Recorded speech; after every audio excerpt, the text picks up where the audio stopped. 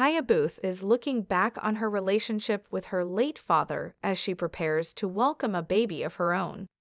The Bachelor alum shared June 19 that she and fiance Taylor Mock are expecting their first child together. She shared the news in a Father's Day post, in which she reflected on losing her dad in February. This has undoubtedly been my most challenging season thus far, she captioned a photo, which was briefly deleted.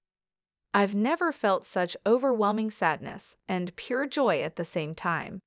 It's been difficult to be grateful for the good, as if one of the most important people in my life is missing the celebration.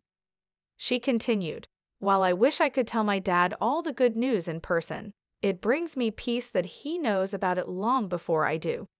Welcoming a new little life while mourning the loss of another proves that high emotions can exist simultaneously, and I have no doubt my dad had a hand in this. Fellow Bachelor Nation members celebrated the announcement, with Becca Kufrin commenting, So excited for you and Taylor to build this life and welcome the little one into the world.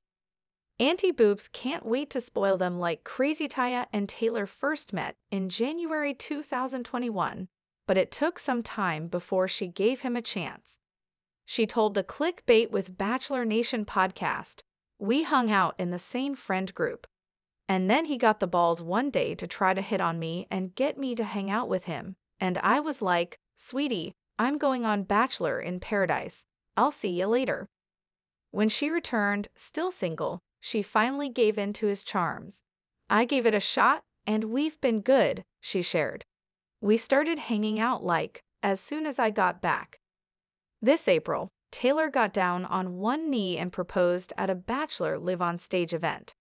As Tia said, never been more shocked or sure in my life. I love you so much, Tay, my fiance.